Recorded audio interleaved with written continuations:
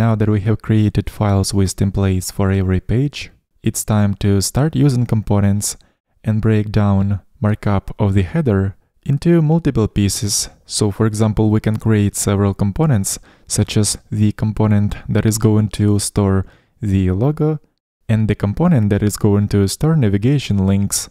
And also this whole header can also be a separate component. So let's switch back to the editor and start making those blade components. First of all, I'm going to extract this whole markup of the header. When we reference components, we have to start with x dash prefix followed by component name. And then we can create blade file with name header.blade.php manually, or we can press option enter while having our cursor on top of this tag and here we can choose the first option which says create blade component, blade file only. And after this, new blade file with the name header will be created. And it works only if you have Laravel IDEA plugin installed inside PHP Storm. So let's replace everything within this file with our header markup. After making all these changes, we're not supposed to see any difference in the browser. Everything looks the same. Moving on. Now I'm going to extract the markup of the logo. So we're gonna move it into its own component, which we'll call logo.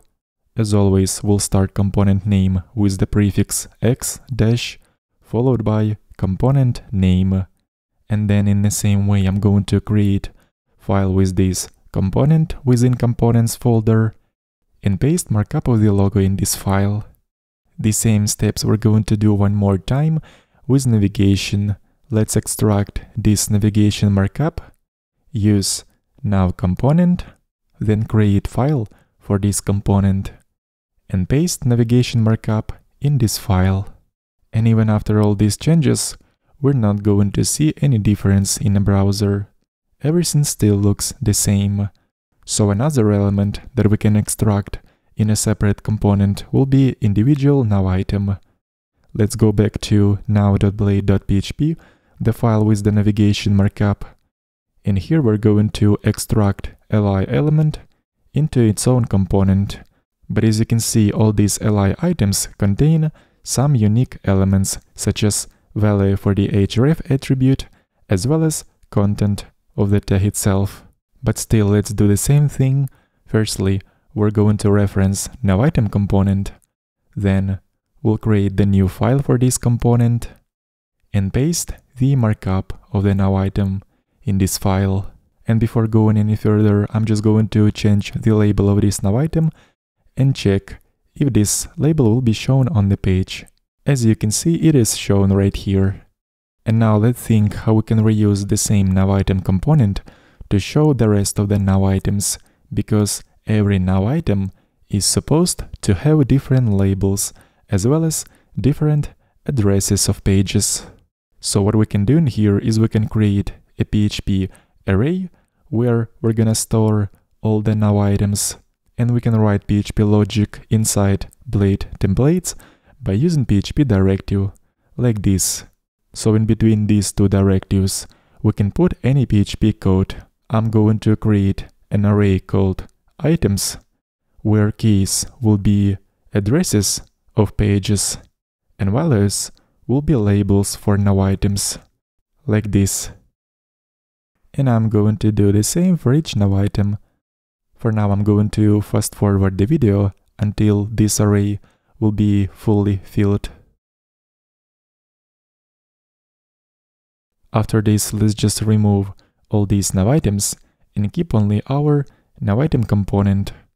So let's just render one component first but we need to have a way to somehow pass some additional data into this component, such as the value for the href attribute, because it will be different for every nav item.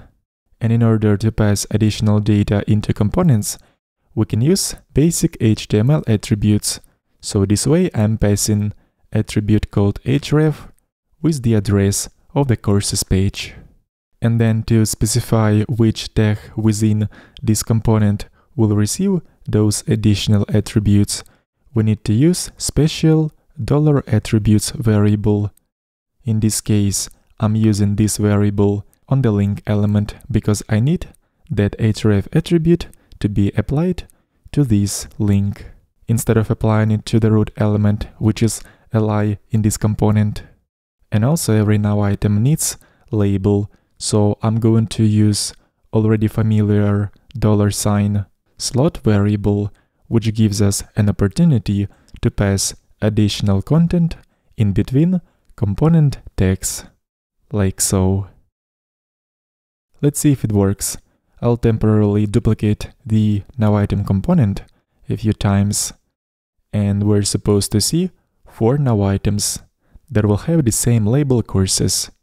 And we're seeing exactly what we expect.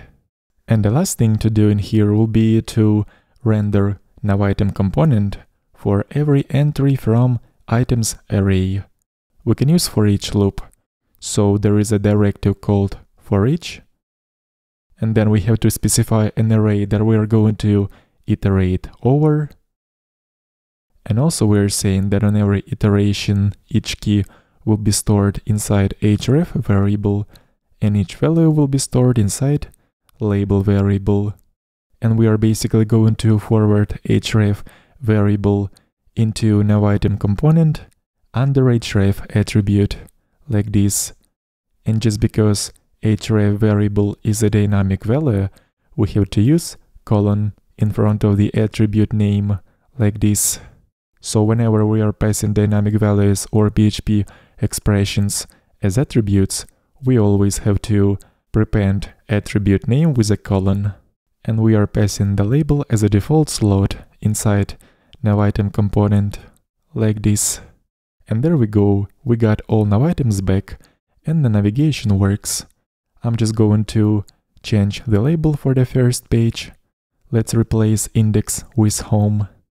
And if attribute name will match the variable name, we can simplify this expression and use such notation to pass data into component colon followed by variable name. Everything is working just like we need to. Link to the source code of this application will be in the video description.